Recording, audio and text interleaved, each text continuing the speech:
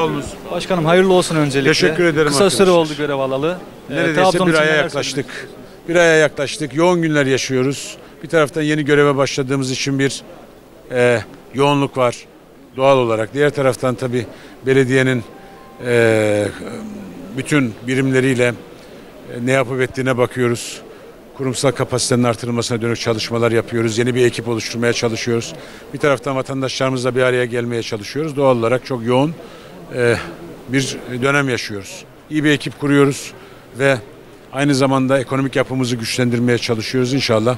Bütün bunlar kısa bir süre içerisinde yerine oturduğunda artık şehirde tam anlamıyla Büyükşehir Belediyesi daha fazla hissedilir bir çalışma içerisine girecek. Vatandaşlardan öneri ve şikayet alıyor musunuz? Alıyorsanız neler? Elbette vatandaşların sokakta dolaşırken de birçok kişinin fikri var. Ee, daha çok trafik ve ulaşımla ilgili e, ve işle ilgili sıkıntılar var.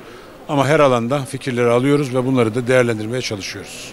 Peki Ramazan yaklaşıyor. Söylemek istediğiniz bir şey Bütün kardeşlerimin, Trabzon halkının ve İslam aleminin Ramazan'ını tebrik ediyorum ben. Elbette çok önemli bir ay, çok mukaddes bir ay.